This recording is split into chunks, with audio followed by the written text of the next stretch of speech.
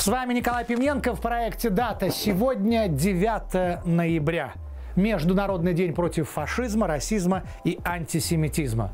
В 1938 году в этот день прошла так называемая «Хрустальная ночь» или «Ночь разбитых витрин». В ночь с 9 на 10 при поддержке нацистских властей в десятках городов на территории Германии и Австрии были организованы еврейские погромы. Они стали первой массовой акцией физического насилия Третьего рейха по отношению к евреям. Нацисты убили более 90 человек, 30 тысяч евреев были схвачены и отправлены в концлагеря. В Берлине погромщики в гражданской одежде сожгли 9 из 12 синагог, при этом пожарные, как отмечается, не принимали участие в тушении пожаров. Согласно оценкам историков, практически полное отсутствие реакции на погром как внутри самой Германии, так и в других странах Европы фактически развязало фашистам руки и послужило стимулом к началу массового уничтожения европейских евреев. У родившихся в этот день 1818 год в этот мир приходит Иван Тургенев, писатель, реалист, поэт, публицист, драматург, переводчик, один из классиков русской литературы. Он отличался очень крупной головой. Когда после смерти писателя его мозг взвесили, оказалось, что он весит около двух килограммов, что намного больше, чем у обычного человека. Однажды, говорят, Тургенев спровоцировал Льва Толстого на дуэль на пистолетах. К счастью, тогда все обошлось. А Лев Николаевич как-то писал, одно, в чем он мастер, такой, что руки отнимаются после него касаться этого предмета, это природа. Две, три черты и пахнет. А ведь прав классик. Сильный ветер внезапно загудел в вышине. Деревья забушевали – Крупные капли дождя резко застучали, зашлепали по листьям, сверкнула молния, и гроза разразилась. Дождь полил ручьями. 1885 год. В этот мир приходит Велимир Хлебников, русский поэт и прозаик, один из крупнейших деятелей русского авангарда. Входил в число основоположников русского футуризма. Еще раз, еще раз, я для вас звезда, Горе моряку, взявшему неверный угол своей ладьи, и звезды. Он разобьется о камни, о подводные мели, горе и вам, взявшим неверный угол сердца ко мне. Вы разобьетесь о камни, и камни будут надсмехаться над вами, как вы надсмехались надо мной. 1929 год. День рождения Александры Пахмутовой, великого композитора, автора почти полтысячи песен, народная артистка Советского Союза, герой социалистического труда, лауреат двух государственных премий СССР. Музыкальная одаренность проявилась еще в четырехлетнем возрасте, когда маленькая девочка написала свою первую пьесу «Петухи поют». В 53-м с отличием оканчивает Московскую консерваторию по классу композиции, затем через три года аспирантуру. Ну а теперь всенародные хиты Пахмутовой, которые мы не можем не вспомнить сегодня. Это только некоторая часть. Главное, ребята, сердцем не стареть, Беловежская пуща, До свидания, Москва, нежность, Орлята учатся летать, и вновь продолжается бой. Как молоды мы были, команда молодости нашей.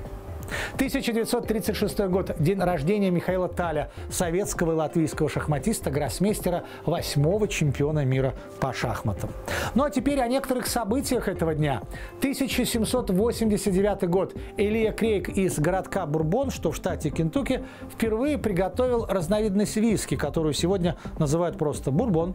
Основное отличие его от европейского напитка заключается в том, что сам бурбон производится из кукурузы, а не из ячменя, и выдерживается в специальных бочках, которые изготовлены из дуба и обожжены изнутри по специальной технологии. Именно это новшество и привнес Элайджа Крейг, случайно заметив, что выдержанный в обожженной изнутри дубовой бочки виски приобретает неповторимый аромат и вкус. Из виски, производимого в США, может называться бурбоном только тот, который произведен именно в штате Кентукки, хотя он официально считается национальным напитком США. Ну а мы с вами всегда помним, что чрезмерное употребление спиртного опасно для вашего здоровья.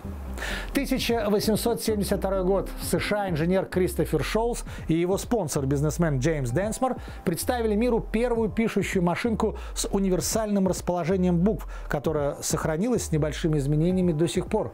Через год в Нью-Йорке открылся первый магазин универсальных пишущих машинок, где серийная модель стоила 125 долларов. Вскоре Шоулс и Денсмор заключили договор с фирмой Ремингтон о массовом выпуске своего детища. Среди первых клиентов, купивших машинку, кстати, кстати, был Марк Твен. А первой рукописью художественного произведения, которая была напечатана с ее помощью, стала книга все того же Марка Твена «Жизнь на Миссисипи». 1911 год проходит успешное испытание первого в мире авиационного ранцевого парашюта РК-1 конструкции Глеба Котельникова. Имя изобретателя известно всем, кто хоть раз имел дело с парашютом. В небе болтаются толпы бездельников. Что ж ты наделал, товарищ Котельников? Эта поговорка парашютистов лучше всего описывает эволюцию парашюта от средства выживания до спорта и даже просто хобби. 1957 год американский ученый-физик Гордон Гулд в статье «Некоторые приблизительные расчеты целесообразности устройства лазер» описал принцип работы лазерного излучателя. Само же слово «лазер» было составлено из начальных букв фразы «light amplification by stimulated emission of radiation» – усиление света с помощью индуцированного излучения. Изобретение лазера относится к одному из самых значительных открытий 20 века. 1975 год. На большом противолодочном корабле Балтийского флота «Сторожевой», который стоял на Рижском рейде, происходит восстание. Ночью управление кораблем захвачено замполитом корабля, капитаном третьего ранга Саблиным. Углубленное изучение в Академии трудов классиков марксизма-ленинизма утвердило его в мысли, что власть ведет народ не тем путем.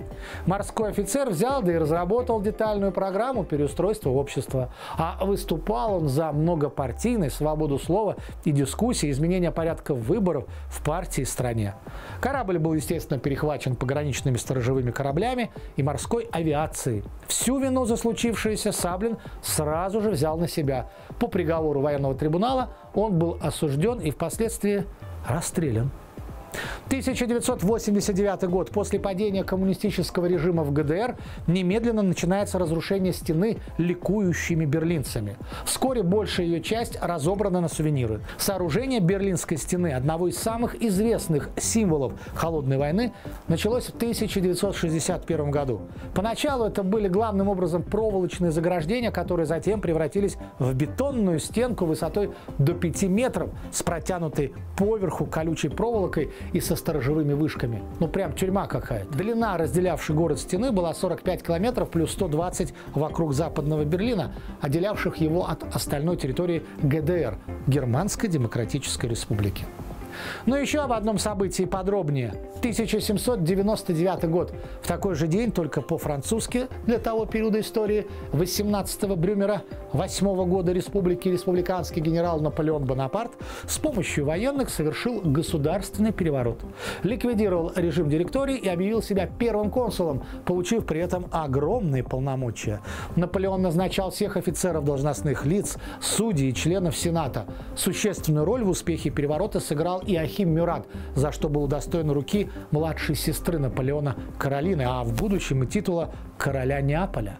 После стремительного взлета на вершину власти Наполеон постарался пристроить всех своих многочисленных родственников. Что же касается его братьев и сестер, то у Бонапарта была страсть награждать их монаршими титулами.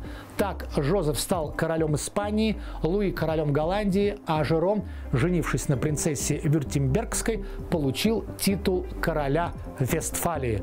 Видимо, Наполеон был уверен, что все могут короли, кроме... С вами был Николай Пивненко в проекте «Дата».